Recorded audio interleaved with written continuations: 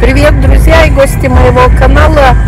Впервые за этот дачный сезон едем на дачу. Если не считать тот раз, когда было видео, ездили в конце или в середине февраля, огребали теплицы. И вот э, сын нас везет э, на дачу первый раз. Вру, еще муж э, с младшим сыном ездили, завозили туда все, чтобы было комфортно там жить, проживать. Все там постельное, какая еда долго хранится, там что-то вроде там растительное масло, сахарный песок, мука, рожки, все такое. Вот они завезли, просто все выгрузили, уехали. Вот они были, я не была. Я еду первый раз. Мы с ночевкой едем, одну ночь планируем ночевать потом нам некогда, завтра дальше ночевать мы уедем. Хотели вчера уехать, но у нас, друзья, настала опять очередной раз зима только зеленая, зима зеленая, зима белая, два времени года, как всегда все. Ночью обещали, вот прошедшую ночь минус 4, мы побоялись, у нас домик летний, хотя и есть у нас чем обогреваться, но он после зимы весь сырой и такой вот все такое влажное, его надо по-хорошему прогреть, протопить, и тогда уже ситуация изменится и будет более комфортно там ночевать, даже если на улице какой-то небольшой минус будет. Вот едем, по новой едем трассе, у нас опять все вернулись проблемы, какие были несколько лет назад, и потом устранили у нас там переезд, такой вот под шлагбаум, и там можно стоять там и 2, и 3 часа, поездов нет, и шлагбаум не открывают. Стали люди жаловаться, все это исправили ситуацию, стали машины пропускать, сейчас опять это вот мы э, в прошлом году уже в конце сезона ездили, такая проблема нарисовалась, и сейчас она... А тут рядом аэропорт в этой стороне. И мы едем по другой трассе, километраж специально посмотрим, насколько по этой дороге дальше нам добираться. Но тут подальше будет побольше километраж. По той, по какой ездили, по какой переезд, от калитки до подъезда 23-24 километра. Два раза вот мы затекали километраж, вот так вышло. Сейчас посмотрим, сколько здесь. Друзья,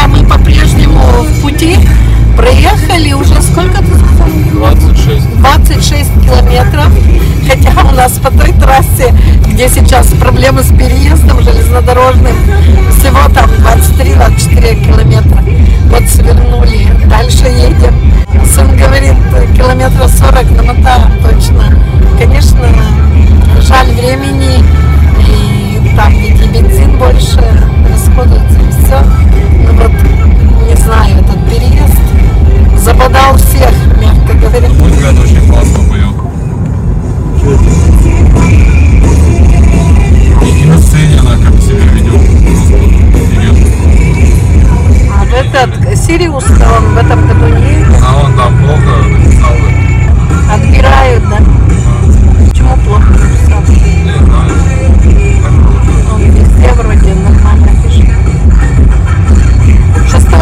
Место здесь ездили на это занял. Нет, шестое это по таблице он занял третье место. Может, третье. А, ему две грамоты дали третье место среди всех. И а, лучший результат среди восьми классов. Ну, молодец. Отличный результат. Третье место призовое. Да. Мы вернули на проселочную дорогу. Эта дорога ведет к населенному пункту, там есть слева, и направо поворот, это наши сады. Дорога, смотрите, я уже отвыкла от такой дороги. Она мало где такая дорога осталась, везде в основном асфальт проложенный как-то так. Вспоминаю свою юность, когда мы ездили на большие расстояния по таким дорогам, ходили автобусы пасекой между населенными пунктами и на этих яминах, кочках, буграх подкидывала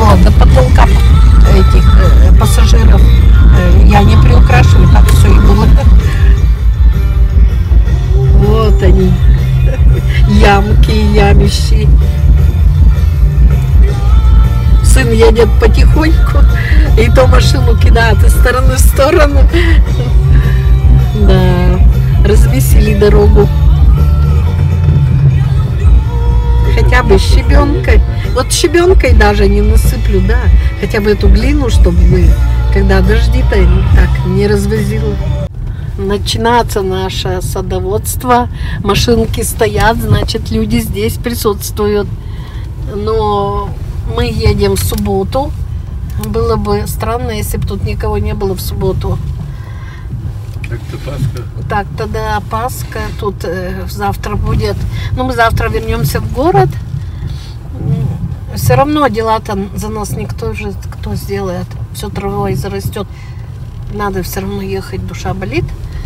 Но мы чисто вот э, ночь переночем. Там надо все пропылесосить, прибраться в домике, заправить постели, там, подключить все умывальники, там, плиты газовые, там все.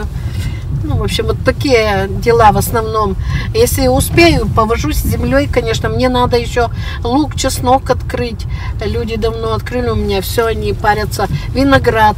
Возможно, что он уже там сопрел, он же закрыт как на зиму, а все под этим укрытием парится. Да-да-да, продолжается дорожка. Вернее, не дорожка, а направление, в какое нужно ехать. Мгм. Нас по-прежнему штормит. Мотает из стороны в сторону. Тут еще снег вчера был такой снегопад ночью, и вот это все растаяло. Тот же ведь дождь можно и считать. Видите, вот все тут опять это осадки размесилось, все это. Лужи стоят.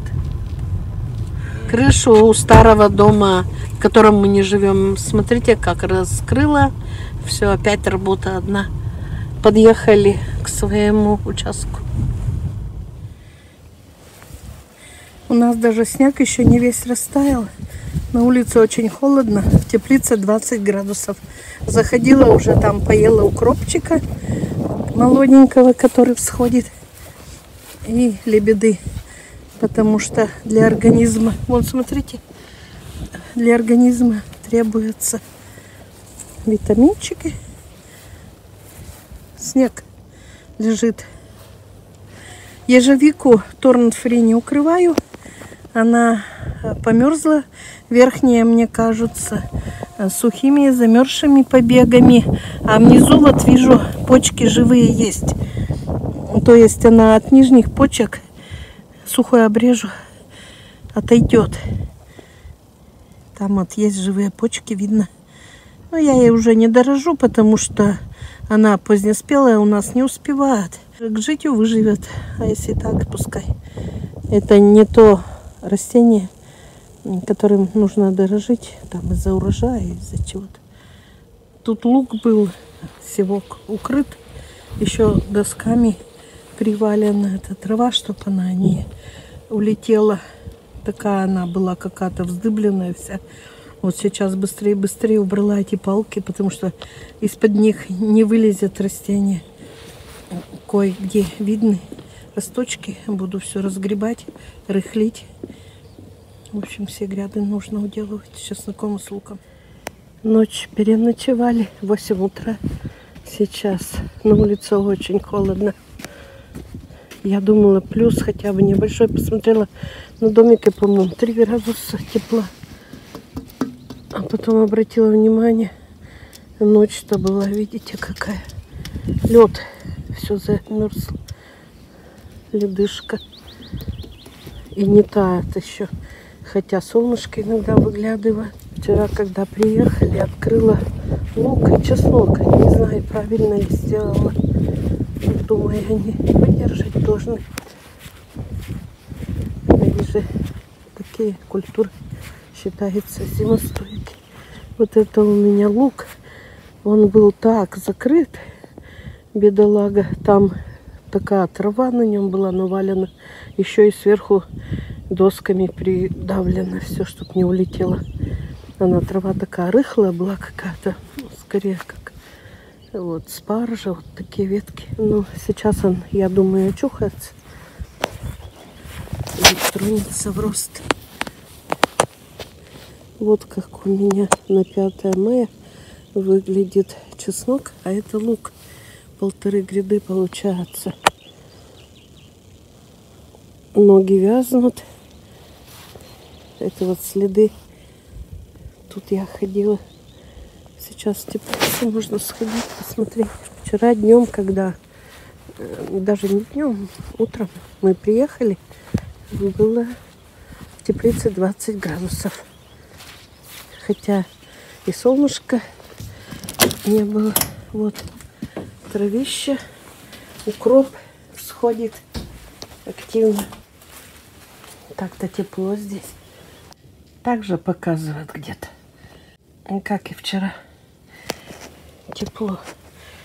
Вот все ведь было с осени, все перекопано почву и все. А вот все равно травы столько. И вот такого укропа каждый год тут сходит, видимо-невидимо. Приходится полоть все подчистую вместе с укропом. Когда начинаю сажать огурцы, там томаты, все. Некоторые оставляю несколько штучек, они еще всходят. И в конечном итоге в теплице о, растет много укропа. Он самосевом. Вон тут, видите, как у меня все зелено. Сейчас дойдем до другой теплицы. Нынче я здесь планирую посадить томаты. Тут у меня росли огурцы в прошлом году. А огурцы и перцы в другой теплице. Заходим в другую теплицу. Она выглядит вот так. Вчера муж подпорки от снеговой нагрузки убрал. Везде в той и другой. Так, а здесь градусы. Вот так же. Такая же примерно история. Тут он висит боком. Тут чеснок. Он все время у меня тут растет. Не истребляем. Я его, по-моему, частично выкапывала. Он все равно тут остаются. Луковки он сходит. Так, кислинка. Кислинка еще вот, вот только-только. А еще второй куст. Еще второй куст в другой стороне. Надо кашпо освобождать. Хотела петунью вчера привезти из города. Это вот все на катки все выдергивать. Оставила их, они красиво цвели до последнего. Думаю, не буду трогать. Вот здесь еще кисленка у меня кустик. Но тут что-то плохо всходит. Я ее очень жестко выполола осенью. Тут. Да и не только осенью, и летом срезала. Ну, она такая живучая. Возможно, отойдет. Тут вот что-то зеленеет. Мне ее куда в таком количестве? Все, вот тут цветки так и в этих замерзли. Тут герань красивая была. Тоже оставила. Съезжали, не повезла домой. Травка, травка, муравка. Ладно, уберется все. Рассаду не привезли никакую. Такие морозы стоят. Пускай еще дома недельку постоит, потом вывезу. Сегодня 5 мая. Как вести в такой холод? Какие-то катаклизмы погодные по всему миру. То снегом засыпают, какие-то наводнения. На високосный год сам себя проявляет. Нынче останемся, наверное, без смородины. Она, вот видите, уже там бутончики. Просто они еще не открылись, попали под заморозки. Возможно, что ягод не будет. И вот почковый клещ появился вот тут, вот видите, как обильно заражена веточка. А это надо обливать там кипятком до распускания почек. А мы в такое время в саду и не бываем еще. Вот первый раз вчера заехали. Видите уже какие листья и все, значит, надо чем-то другим обрабатывать. Вручную, наверное, это нереально все собрать. Не знаю, не пробовал. Но очень трудоемко скорее всего, малоэффективно. Все равно где-то пропустишь. Красиво цветут нарциссы, как, да? И куртина такая большая.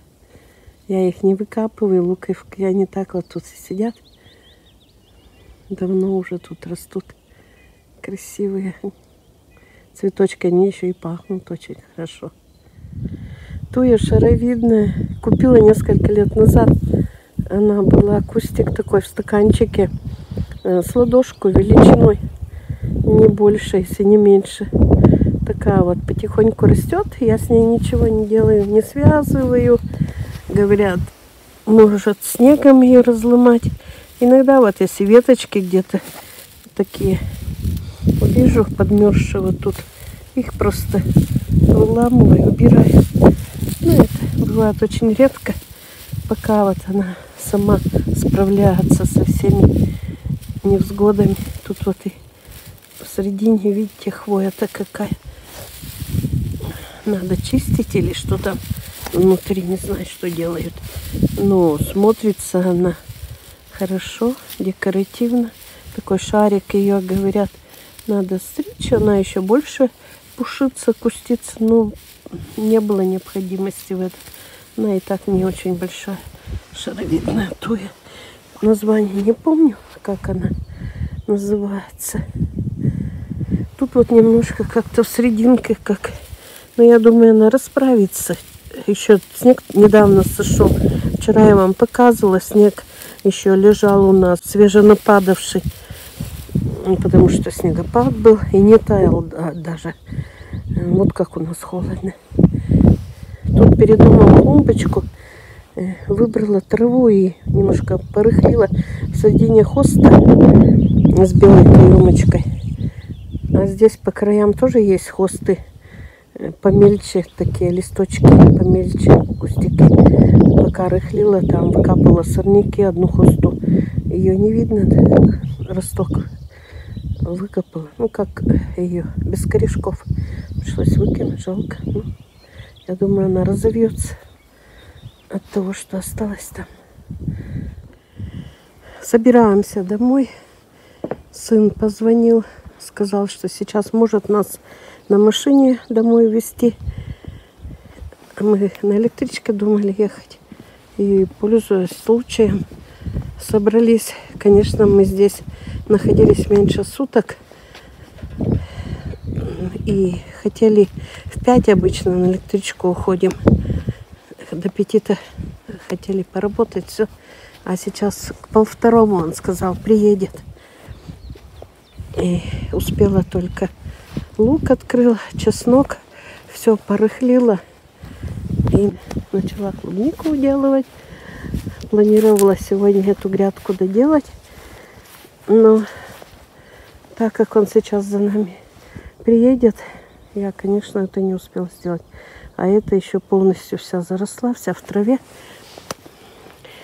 Где вот, вот это у меня лук, там чесночок дальше. Где вымерзли, какие клубнички, там беру с этой грядки, не уделано еще. Тут много очень усов, которые с осени укоренились. И я их не убирала. И досаживаю на место тех, которые погибли за зиму. Вымокли, вымерзли. Вот сделала, сейчас бы я точно сегодня эту гряду доделала до конца.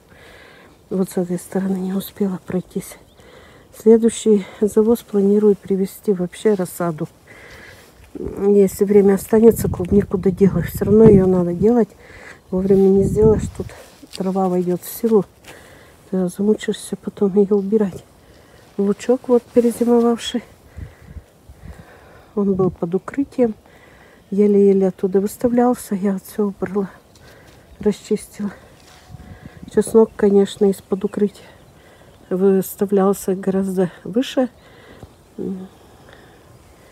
Все укрытие сняла. Виноград открыла, но живых почек не знаю там. Пока не наблюдаться, проснувшись. Время покажет. Вот с этой стороны очень сыро. Вот много кустиков клубники, которые или плохо себя чувствуют, или если вымокли, придется досаживать, обновлять. Но на той гряде много с этой стороны усов. Посадочный материал можно взять.